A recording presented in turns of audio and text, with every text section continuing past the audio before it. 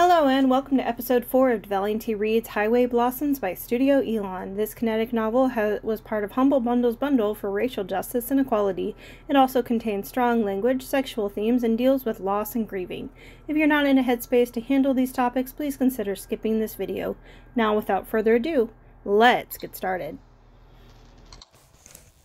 I wake up slowly, fighting to keep my eyes open in the back of my head. I feel like something is wrong. It takes a minute before I realize I've overslept. It's a quarter to six. Marina was supposed to wake me up 15 minutes ago. Marina? I call her name but get no response. Rolling out of bed, I massage my eyes and stumble up towards the front. Of course, she's asleep, sprawled out on the dash with her head buried in her arms. It looks like she's been out for a while. Jerking her head by the shoulder, I shake her awake. Uh, what's up, Amber? Her speech is slurred by sleepiness. I ignore the temptation to make the not you joke. How's that book you're reading? It's great. I just put it down to. A look of shock spreads across her face. Mounting horror takes over as she realizes the time. Oh god, I'm so, so sorry. I was just gonna nap, but then I forgot to set an alarm. I mean, to wake me up.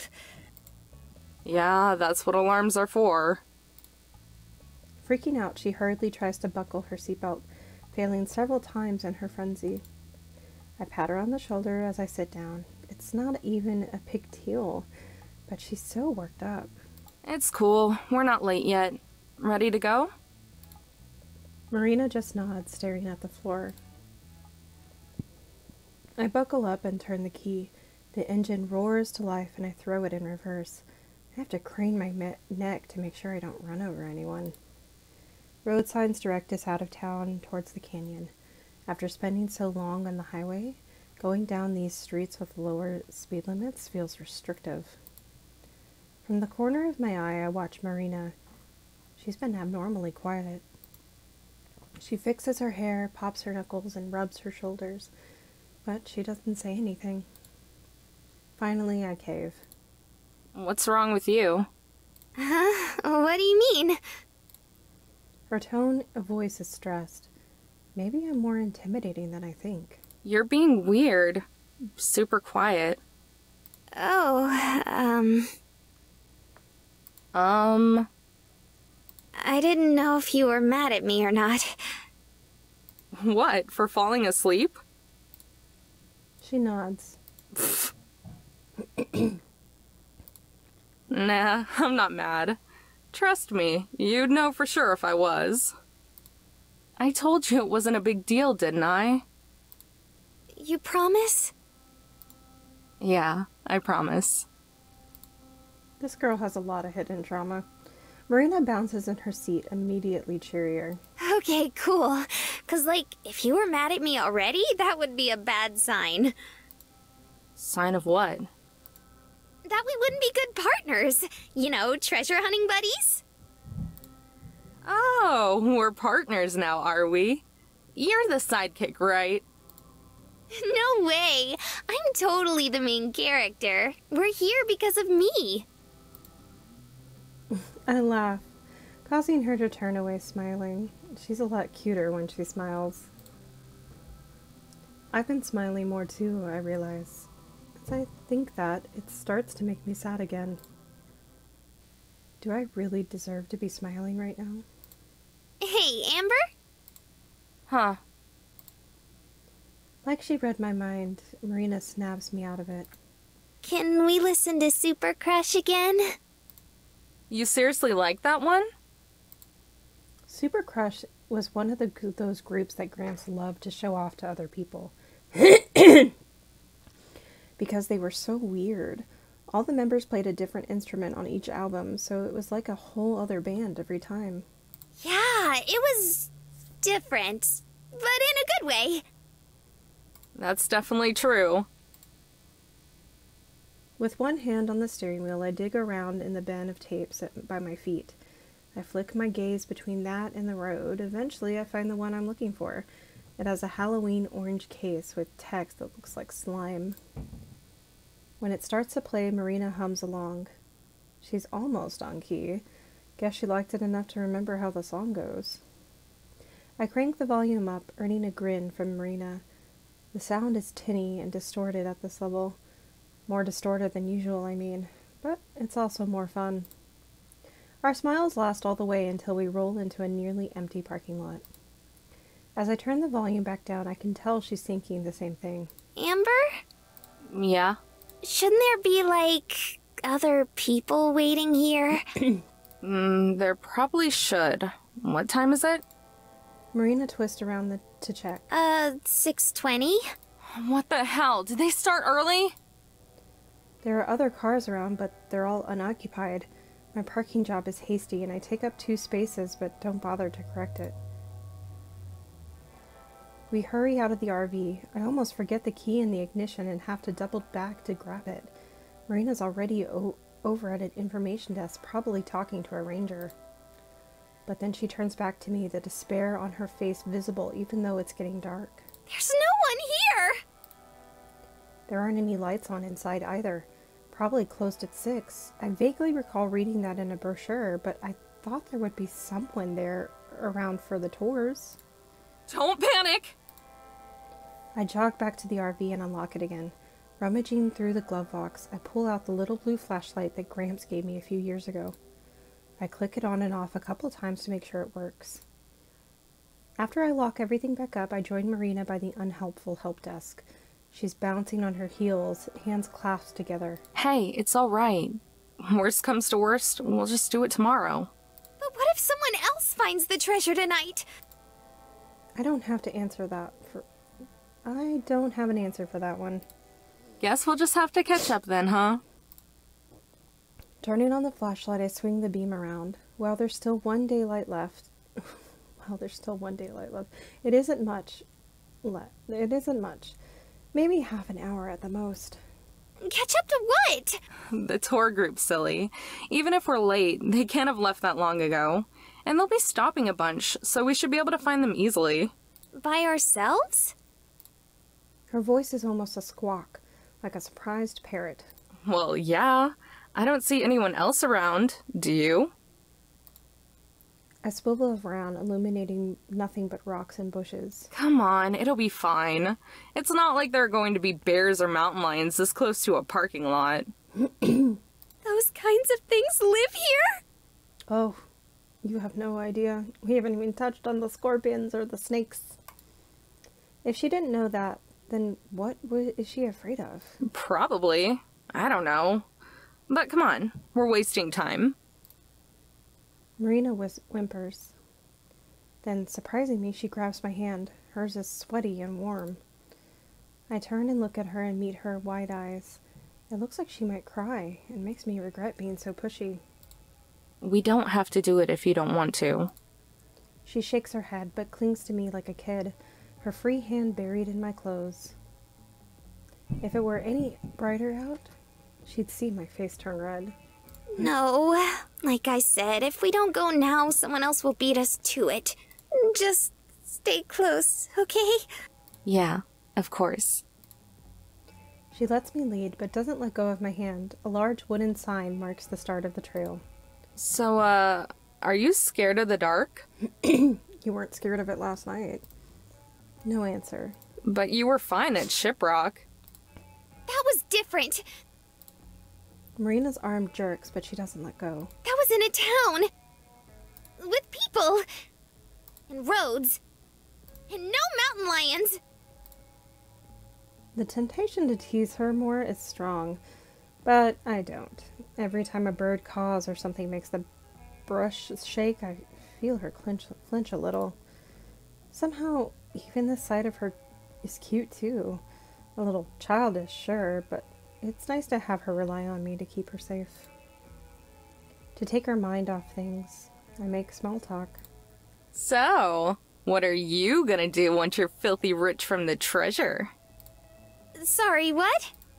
I asked what you'll do with your share of the treasure. Oh, um. I'm not sure yet. I haven't thought about it. We're out here looking, and you don't even have a plan for it? It was a spur of the moment thing. What about you, huh? I don't know either. Ha! See, I'm not. Yeah, yeah, but I wasn't planning on looking for it, you know? I haven't spent as much time thinking about it. I glance behind me to see Marina stick out her tongue. I laugh. I clear my throat. I drink some water. But, uh, let's see. I definitely need to pay off Gramps' hospital and funeral expenses. After that, I guess I should probably get the motorhome fixed up. It's not gonna break down on us or anything, but it's kind of old. Why not just buy a new one? Because it's Gramps. Hell no! My response comes out snappier than I intended. It's just that it has sentimental value, you know? I'd rather keep that than buy a newer, better car. I grew up in that thing. I could never just replace it. After that, I'd probably just keep doing what I was doing before I met you. And what's that? Wandering. Don't you want to stop wandering sometime? My step slows a bit. It's an innocent question, but it hits me hard. Not yet, no. I whisper it. Marina catches up next to me, dropping my hand so sh- as she does so. At least I'm not the only one without a goal. I poke her in the side and she squirms away a couple feet. Ow! Torque. It's hard to stay sad around her. As we turn around a curve in the road, the tour group comes into view. Just ahead is a cluster of people, most of them armed with flashlights. It's hard to know for sure, but I can see at least a dozen different figures. The tour guide is shining his light up at the rock face, illuminating some designs on it. Everyone has their backs to us. Try to be as sneaky as possible. We want to join up without them noticing, like we've been there the whole time. If anyone notices us show up, they might notice when we leave. Why do we have to join up in the first place? I don't know how to get to the ruins we're looking for. We'll stay with the group until the tour gets there, and then we'll sneak off. Marina nods. Okay, follow my lead. And remember, be as quiet as you can. We creep forward slowly. If someone were to turn around and see us, we'd look pretty suspicious. But nobody does. The lecture on the petroglyphs gets their full attention. Marina kicks a rock and I tense up, expecting that to break the spell. But we're close enough now that if it did, it might not matter. And we reach the back of the tour group without anyone noticing. I give Marina a thumbs up, which she returns. Right, you could see the Anasazi ruins. Some of the Navajo people still call the area home. There's a living community in the canyon who.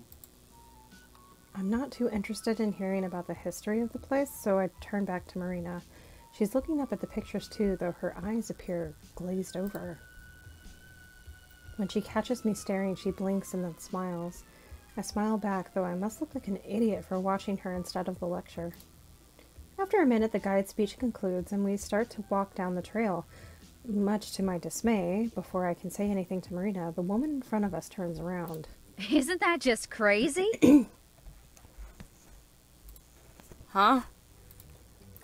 It takes a second for me to understand that she's talking to me. She fits just about every stereotype of redneck from the huge hat on her head to the baby strapped to her chest. What?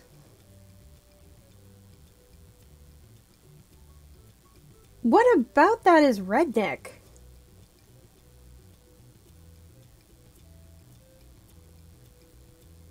Who wrote this?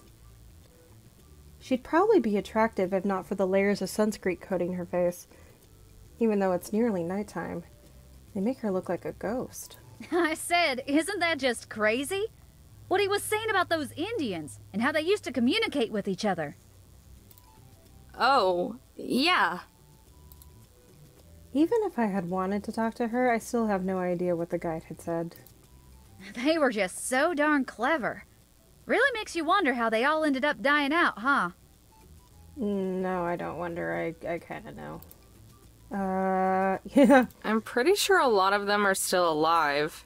And, like, some of them live here. in this canyon? I had heard that much, at least, but apparently not everyone did. For a second, when the woman looks at me like I'm crazy, but then she busts up laughing. Sorry, sorry, you're absolutely right. I was thinking of them Aztecs down in Mexico. Her laugh is more like a bray. She sounds like a farm animal. In my head, I keep hoping she'll turn back around and leave us alone. But we're not so lucky. She keeps on chatting us up uh, as we follow the trail. I'm self conscious about how noisy she's being compared to how low noise level of the others. Say, is that where the name Texas comes from? From Aztec? No. Before I could answer, she started shouting at someone else. Howard! Hey, Howard, come over here! Oh, Jesus. By now, nearly everyone is looking at us. Ma'am, can you please keep your voice down? Oops, sorry. She apologizes loudly. So much for staying inconspicuous.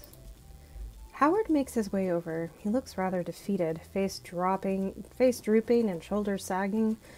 I figure he's the woman's husband. Yes, dear. The poor man.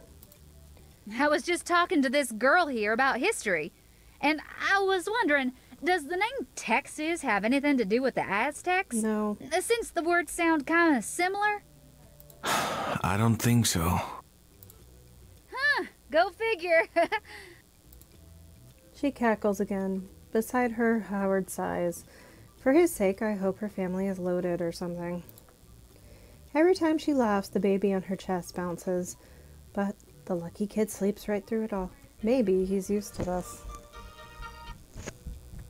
anyway, I must have left my manners back